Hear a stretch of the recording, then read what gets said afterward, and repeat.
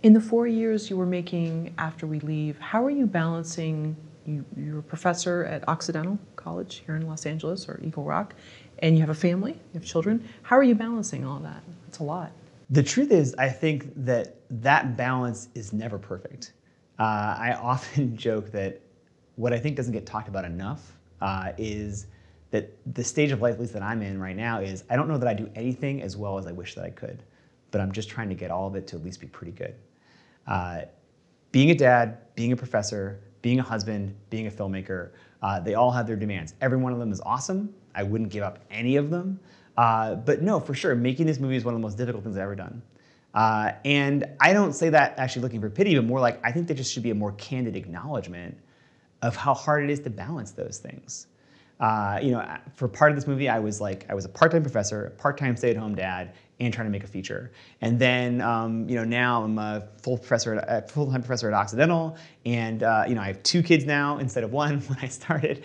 Um, and for sure, yeah, like that balance is difficult in so many ways, in terms of just time. When can you get free to do it? Uh, in terms of just resources. Uh, you know, those other things, there's just spending money and, and, and, and that sort of stuff. And then more generally, the, the hardest one I find is the shift in mindset that if I were to really encapsulate the phase of life I'm in right now, it's having to shift gears and sort of take off different hats and put different hats on with no real transition point. So to go from dad to professor to filmmaker to dad to, you know, like, like around that, uh, there's no mental space to sort of flip over. And I've just accepted, I think that's just where, it, where I am right now. Uh, and I think there's this image of like filmmaking that is almost like it's divorced from the rest of life. But again, you know, I think that this is the reality of independent cinema.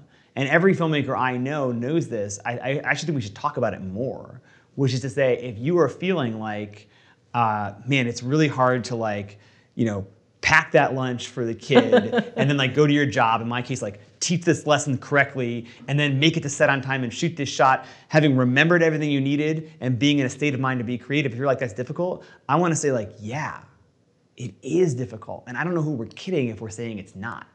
Uh, and, and, and to me, like, and that's fine. Like, I think that like that struggle is a reality. And so I'm just trying to maximize it and optimize it, but I don't think it's gonna go away. Yeah, I see too much of this mindset of like, I got this, and I, I can tell, you know, I, nah, this doesn't, you know, and I wish sometimes people were more transparent with, yeah. no, this is really tough, and yeah, I don't know if I do have it, but I'm still going to show up. You know? And I think it's important to acknowledge that again, because I think uh, it, it, it's an, the amount of time you can devote to filmmaking, I do think becomes a representation of an amount of privilege that you have. And I think it is important for us to recognize, by the way, that it is actually harder for different people to get that half a day to even shoot a scene that I'm talking, you know, like I'm talking about, or to get an hour to do that. And that big societal things like that are part of the reason for the representation gap in behind the camera and in front of the camera. And that, that's why it's hard to address these things. You know, that it can't just be, oh, we'll open up our application process or we'll open up our, you know, how receptive we are to other ideas. That's awesome. But you can have removed a lot of barriers to entry and still larger sort of structural problems in like society can be altering who even tries to step through those doors.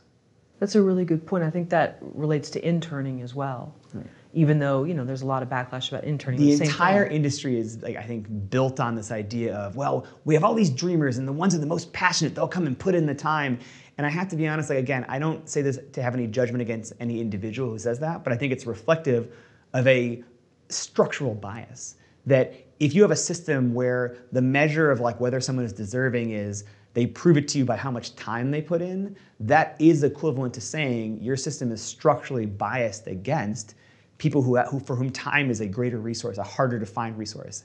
And that's gonna be women, people of color, people of lower income. Uh, and so we have to be careful about, I think it is always important to judge passion and to see who's serious about what they want to do. But measuring that through certain metrics that we've used in the past, I do think contributes to the homogeneity of the industry. Right. Single moms, single dads. Exactly. And, and even if they do have time, are they going to be so tired exactly. that they can't finish it? You know, I think that's one thing that you don't think about when you're younger is, oh yeah, I can totally do this and yes. I can balance all this stuff. You don't realize how tired you're going to be, mm-hmm. and and you can't think clearly, you know. And I think that's um, yeah. Anyway, that's another video. So.